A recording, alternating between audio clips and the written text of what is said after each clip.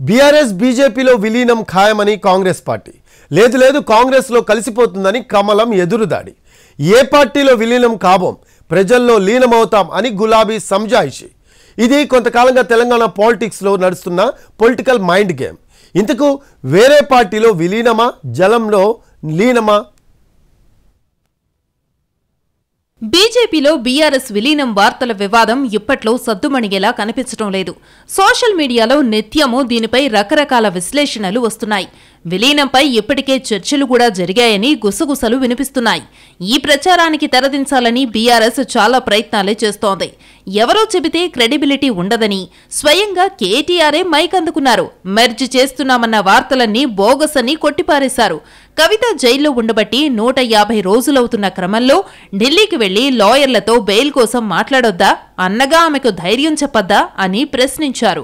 ఢిల్లీకి వెళ్ళినంత మాత్రాన బీజేపీకి బెండయ్యామని లోపాయికారి ఒప్పందం జరిగిందనే దుష్ప్రచారం చేస్తున్నారని కేటీఆర్ మండిపడ్డారు. బీఆర్ఎస్ విలీనం ఉండదని ప్రజల్లో లీనమై పనిచేస్తామన్నారు. ఇక వాడోగోడు వీడోగోడు కాయగూరలు ముచ్చట్లు చెప్పేటోళ్ళు ఉంటారు కొంతమంది.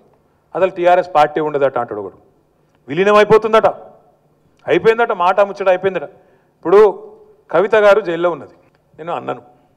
పార్టీ వర్కింగ్ ప్రెసిడెంట్ను మీదికెళ్ళి కవిత అన్నాను. మరి నేను పోయి ఢిల్లీలో లాయర్లను కలవద్దా? బెయిల్ ముచ్చట మాట్లాడొద్దా? అవసరమైతే నాలుగు రోజులు ఉండి ఏమవుతుందో విచారించొద్దా? అమ్మాయి అమ్మాయిని కలిసి ధైర్యం చెప్పొద్దా? గా పని మీద నేను పోతానట? వీడు బీజేపీలో కాలు మొక్కిండు సీక్రెట్లో బేరం చేసుకున్నాడు. మాకేం కర్మ?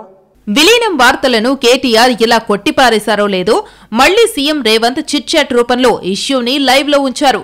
బీఆర్ఎస్ బీజేపీలో అంతర్ధానం కావడం ఖాయమని చెప్పడమే కాకుండా ఒక అడుగు ముందుకేసి ఆ పార్టీలో ఎవరెవరికి ఏ ఏ పదవులు వస్తాయో కూడా మీడియా చిట్చాట్లో లో చెప్పారు.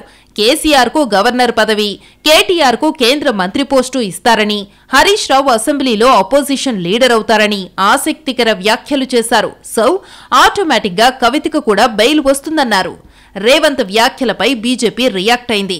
బీఆర్ఎస్ విలీనం వార్తలు ఊహాజనితమేనని ఎంపీ ఈటెల రాజేందర్ కొట్టిపారేశారు.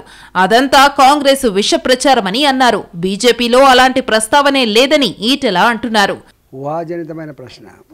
కాంగ్రెస్ పార్టీ కావాలని చేసిన విష ప్రచారం తప్ప దీనిలో నిజం లేదు. బీఆర్ఎస్ పార్టీ ఒక్క పార్లమెంట్ కూడా గెలుచుకున్న తర్వాత కేసీఆర్ గారు పార్టీని నడపలేడేమో ఇంత శక్తివంతమైనటువంటి పార్టీ పట్టుకుండడం కంటే మా అంత బీఆర్ఎస్ బీజేపీలో విలీనం అయితే బాగుంటుంది అనేటువంటి చర్చ కింద వాళ్ళ పార్టీలు రావచ్చు కానీ ఎక్కడ కూడా మా పార్టీలో అట్లాంటి చర్చ లేదు.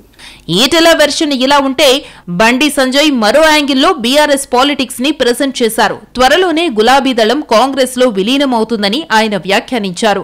కేసీఆర్కు ఏఐసీసీ కేటీఆర్కు పీసీసీ కవితకు రాజ్యసభ సీటు ఖాయమన్నారు. కవిత బెయిల్కు బీజేపీకి ఏం సంబంధమనేది ఆయన వాదన. పార్లమెంటు ఎన్నికల ఫలితాల తరువాత తెలంగాణ భవన్ని వీడి గాంధీ భవన్ బాట పడుతున్న వారి నెంబర్ పెరిగింది. త్వరలో ఇంకొన్ని చేరికలు ఉంటాయని కాంగ్రెస్ లీకులిస్తోంది. ఈ క్రమంలో అసలు బీఆర్ఎస్ శాసనసభాపక్షం ఉండకపోవచ్చన్న ప్రచారము జరుగుతోంది. పార్టీ నుంచి వెళ్ళిపోతున్న వారిని బీఆర్ఎస్ అడ్డుకోలేకపోతోంది.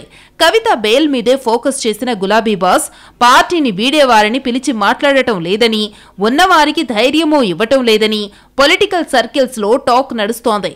ఈ క్రమంలోనే బీఆర్ఎస్ బీజేపీలో విలీనమవుతోందంటూ జోరుగా వార్తలొస్తున్నాయి.